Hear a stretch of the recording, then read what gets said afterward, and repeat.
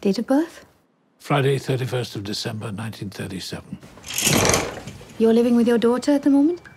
Yes, until she goes to live in Paris. No, Dad, why do you keep going on about Paris? You told me. No, I didn't. I'm sorry, Anne, you told me the other day. Have you forgotten? She's forgotten. Paris. They don't even speak English there. Dad, I'd like you to meet Laura. How do you do, sir? I say, you're gorgeous. Thank you. I must say he's charming. Yeah, not always. Laura has come round to help you. I don't need her or anyone else. I can manage very well on my own. Everything all right? Who are you? Anthony, it's me, Paul. Who? I live here. What is this nonsense? Anne? It's me. Ah, there she is. Your father seemed a bit confused. Something wrong? Where's Anne? Sorry? Anne, where is he? I'm here. What's the matter, Dad? Strange things going on around us. Don't worry. Everything will sort itself out. Saw it in his eyes, didn't know who I was. It was like I was a stranger to him. Just did something to me. I don't know what she's cooking up against me, but she's cooking something up. What are you talking about, Dad? I'm not leaving my flat! I am not leaving my flat! This really is my flat. Isn't it? You see, the situation is very simple. My daughter is of the opinion that I cannot manage on my own. I'm so sorry about this. Why? She understands perfectly. It's important. I explained it all to you. Why do you keep looking as if there's something wrong? Everything is fine. I think she tries to do the best she can for you, Anthony. Everything will be all right. I promise you. There's something funny going on.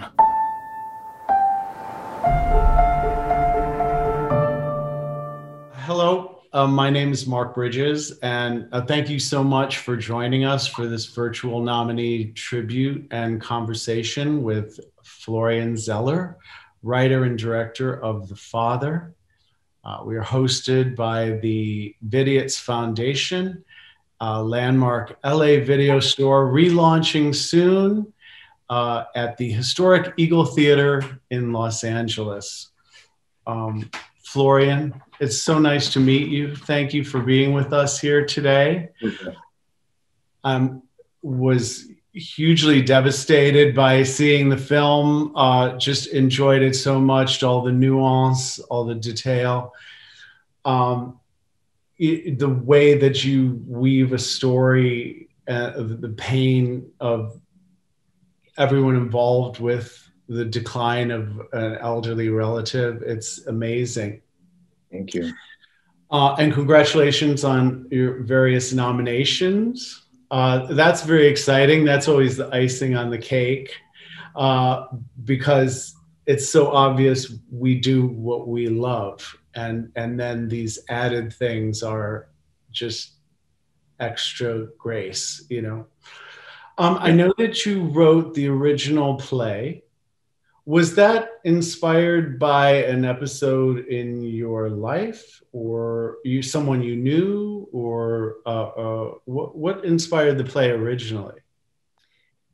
Yes at the big so the father before being a film was a play and i wrote it nine years ago. And at the very beginning when i started writing the play it was in french because i'm french as you can hear. Um, it, it, was a way for me to go through a personal experience that I had mm-hmm. with my grandmother, actually. Uh, and the father is about a man losing his bearings. It's about not about dementia, but it's uh, you know it's about uh, losing your bearings. And and I have been raised by my grandmother. She was like my mother in a way. Um, she was someone very dear to me, and she started to suffer from dementia when I was 15 uh, and, and so I knew a bit what it was to go through the, this painful process and to find yourself in a position where you are important, uh, powerless. Uh, you can love someone and you understand and you feel that love is not enough in a way. But I also knew that um, unfortunately, I'm not the only one. You know, everyone is concerned by this issue um, because everyone has a grandmother or everyone has a father or everyone has or will have to deal with this painful dilemma, which is, you know, what do you do with the people you love when they are starting to to lose their bearings? And so it was not about trying to tell my own story. No. I think in a way it's not enough to make a film. It was more about sharing emotions because I had this intuition that you know uh, we are all connected with this uh, fear and with this pain. And but the thing is that when I wrote the play, uh, I was not certain that the audience would be open to such an emotional journey. And, and, and so I was surprised and, and, and profoundly moved to discover the, the response of the audience, meaning that uh, people were waiting for us after every performance, not to say congratulations, but to share their own story, to tell their own story. And I realized that there was something cathartic about it. And, and it, it was really meaningful to me because to me, art is done for that, you know, to make you feel that you are part of something larger than yourself, you know, that we are all, you know, um, on the same boat in a way. And, and, and, and, and a film or a play is it's here to make us experience, um, I think, this kind of fraternity, even though it's a painful fraternity. Right. Yes. And opening it, you know, working with Christopher Hampton to adapt that play into a screenplay, uh, you know, you're still working within the confines of this apartment. And it's the way that you use that space so interesting. Now was that uh, is is that something that came from the script? Is that something uh, you imagined when you began to go on the imagination of the screenplay the physical nature of that confined space and then also working with peter francis you fleshed that out a bit it's true that um, what I didn't want to do is to film a play. I wanted to do something as cinematic as possible and to do what the cinema can do and what only the cinema can do in a way. And when you start dreaming of adapting a play into film, it's true that you the first ideas you have or the first advices you get is always to write new scenes outdoors to make it feel more cinematic Mm-hmm. And here I made the decision not, not to do that and to stay in this apartment so that that space could become like a mental space because it was the whole idea of that film it was to to put the audience in a unique position as if they were going through a labyrinth questioning everything they are seeing as if they were in a way in the main character's head and because i wanted the father to be not only a story but to be an experience, the experience of what it could mean to lose everything, including your own bearings as a viewer. And, and what was really important to me was to, um, again, to put the audience in an active position. I, I didn't want the audience just to sit and watch a story already told, but to, to be part of the narrative and to, to have to use your brain and your heart and everything to try to, to to make it meaningful as if it was like a puzzle you know and and you have to to play with all the pieces of that puzzle to to find the correct combination that would be meaningful. And and this it, it was really what i was looking for.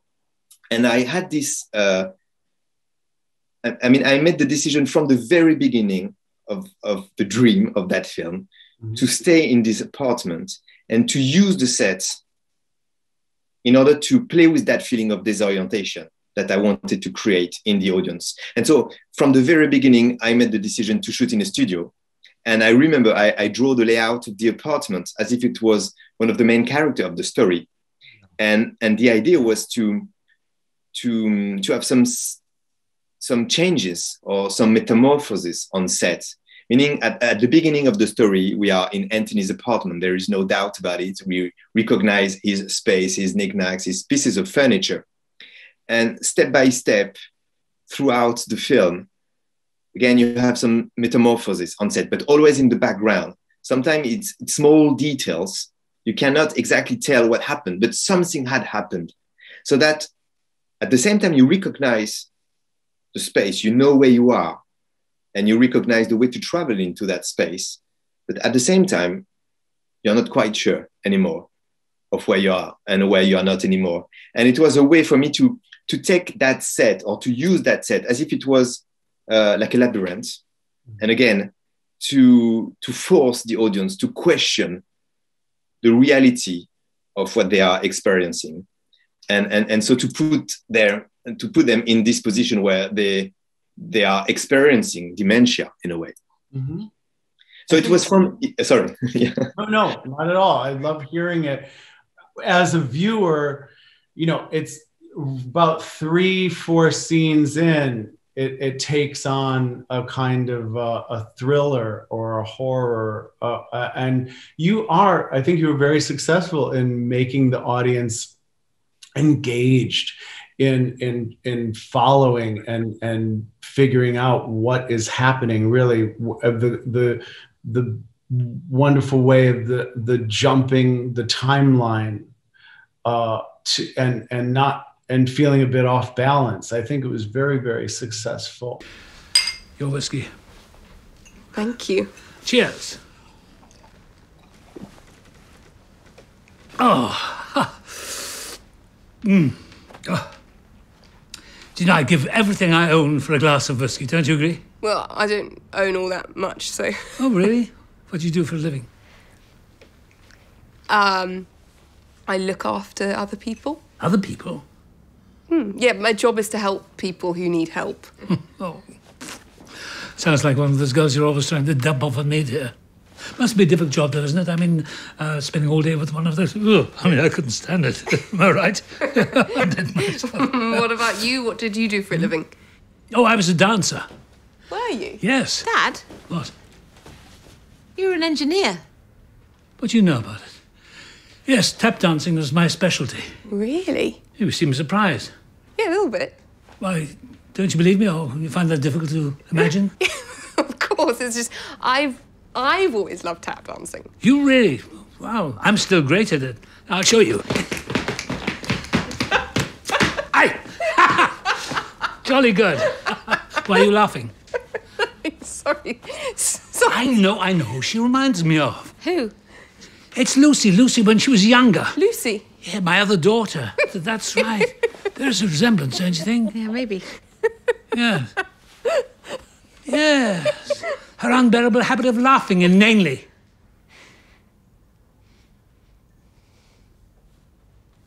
I had you there, didn't I? and the colors the color scheme the movement i love that i it, it's something i admire you you feel it but you can't put your finger on it i think that was perhaps your goal in doing changing the colors yeah it, it- the whole challenge was to find a delicate balance to because I, I didn't want to do something too explicit or too illustrative. So i wanted to do something as subtle as possible. So that again you you, you have the feeling that something had happened. Yeah. but you cannot tell what exactly. So that you you don't and uh, you don't see the direction in a way the director. You're just experiencing the labyrinth and uh, and it was about the color it was about the production design. It was all about trying to find the delicate balance because what i do believe profoundly it's that the audience is intelligent. So i didn't want to make it too easy for them. And again i wanted to ask them to be engaged in, in that process and and and to try to seek for information to make that world logical and meaningful. And um, so it, it, it was a, it was a joyful process during the preparation to to find a visual way to play with uh, with that those feelings that we wanted to create in the backgrounds you know because here everything meaning uh, the lighting the production design uh, the costume design it was not about you know providing a background for the characters. It was more than that. It was it was the it was a way to um, to tell the story and, and, and it was really part of the narrative and um, so it, it, it was on, on, in the script it was like written like uh, living room one then living room two and Yeah. then living room three and then we had to to find what it would mean visually and, and, and to, to play with all the possibilities because it's great when you are shooting in a studio as you know, you can do whatever you want. You can remove a wall, change the proportions very easily, and the colors. And talking about the colors, I had just one idea in mind is that all those changes on set were supposed to lead to the hospital, you know. Mm-hmm. And, and, and I had this image of a corridor. It was like a pale blue corridor.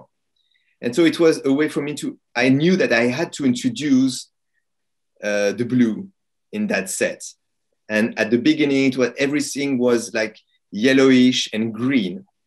And, and you just have blue in, in the costume design at the beginning, you know, such like uh, uh, Olivia Colman's blues or few elements. And step by step, the blue is taking more and more space. And you're not supposed to notice that, you know, it's just, just a sensation. But so that we, we are traveling into a new place and a new space without without knowing it. And in the end you are in a completely new space a blue new environment. And uh, so it, it, it, was the the journey we did. That's fantastic. Uh, you know i i especially talking of blue the blue pepper mill the uh, on in the kitchen the the blue bags uh, you know the grocery bags i mean all, all those things oh, I, I kind of knew where it was leading, but it's so subtle. It is so, it just is bringing you on this journey and drawing you in. It really, really is. Um, so, eh, so since you weren't opening it up to grand outdoor locations for the film, you know, being what it is, I, I find it very strong the close-ups and the extreme close-ups that you worked out with Ben Smithard. You know, the the the the the way it was shot was such a way as you never missed the outdoors. You were going into the life of the mind, into the heart of the characters. And I thought that was such a beautiful way to to make it into a film from a play. I think you get that intimacy that you may not get in a stage production. Had you yes. worked with Ben before, or you just met him for this, right? No, I, I just met him for for this, and um, we had a an immediate uh, understanding uh, of each other. So it was a, an easy process together, and uh, we did a, a, lot of preparation, be, meaning that before we start the shooting, uh, we knew exactly uh, what we were looking for. Uh, we did a lot of preparation, um, especially because I didn't want to rehearse with the actors before we start. Um, so I had to be over prepared on the other for, for the rest of, of, of, what has to be done. And I made that decision not to rehearse for several reasons. One is because I come from theater, because the father was first a play, And I wanted to be as far as possible from that theatrical process. And I'm very familiar with the rehearsal process and I love that. But I had the feeling that I had to jump in, into the unknown myself, include, in order to, to really try to catch what was cinematic and not to try to, you know, to use my own bearings as a, you know, a theater a director. But mainly, I I knew that Anthony Hopkins is not a method actor. You know, you don't need to to talk about the character and to talk and to talk for him. And and precisely for that uh, story, it was not about creating a character, because the danger could have been to you know just to to fake an old man with a disease and, and to, to do something that would not have been as truthful as what I was looking for. And, and uh, so what I was expecting, what I was hoping for Anthony was just to just to be in front of the camera, almost to be himself, uh, as if no acting was required. You know, in a way, it's it's not true because he's acting all the time. But between him and I, we we we said many times, no acting required let's try to be as simple as possible, knowing that to be simple is probably the hardest to achieve. Mm-hmm. And that's the reason why it was meaningful to me to to keep the i mean the, the, the main character's name is anthony and of course when i wrote the script i had anthony hopkins in mind and and then when we first met he asked me if i was certain that it was a good idea to keep that name anthony uh, and it was important to me to to to keep it and the, the, day before we start the shooting, he came back on this and he said, "Are you certain you, you want to keep Anthony for, for that character?" I feel that it's it's strange and and it was meaningful for me.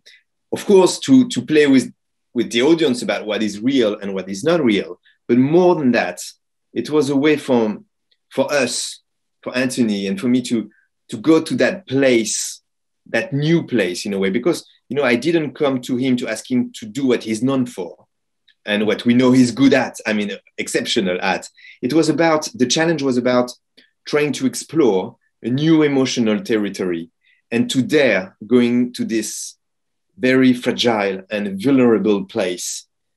And and i think that to you to have that name helped us in a way because he had to to to in a way to to use his his own fears and his own uh, emotions and also his own feeling of mortality, because in a way, it is what it is about in the end. And the whole challenge, and I think he was really brave, more than anyone, I would say, was to accept, to explore that, that place, that territory that was for himself as well, unknown, you know. He has to go there. And sometimes it was painful, even though it was a joyful process. But he had to to be connected with the idea of his own mortality. And um, yeah, that's why I really wanted to, to, to use that name, Anthony, uh, in order to be as close as possible to, to his own life. Right. And I was wondering, it's interesting you bring up the rehearsal aspect because there are a lot of actors who don't want, you know, you stand there, you move there, and then just go for it and when you're working with performer actors like Olivia and Anthony, and the whole company is incredible. Um, you, you, there's a kind of freedom there to be able to just you the words are solid you've done your homework let's go for it right That's, yes absolutely and especially as i said anthony hopkins he's very instinctive as an actor but Olivia Colman is also very instinctive.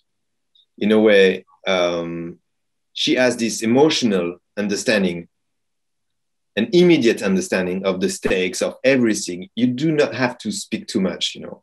So it was not about just filming without knowing where we were going, because every day we did some rehearsal of every scene, you know. But yeah. it was a way, in a way, what matters was only the scene itself that we were supposed to shoot. And it allowed us, or it allowed them, to forget about the rest of the journey.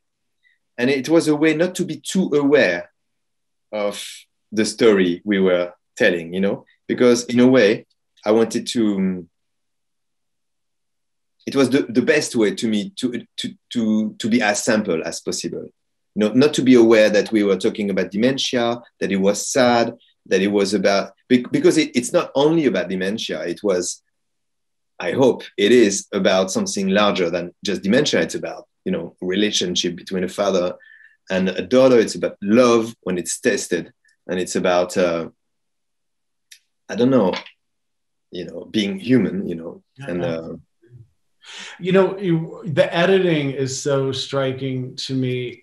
Uh, and this was your first time working with Yorgos as well, Lamprinos, right? And and uh, how how did you how long did you work on post production with him, putting it all the pieces together, or because you had done such homework, you kind of knew how things were going to fit together, or there's always a better take, or there's always right? Hmm. Is that how long did you work together?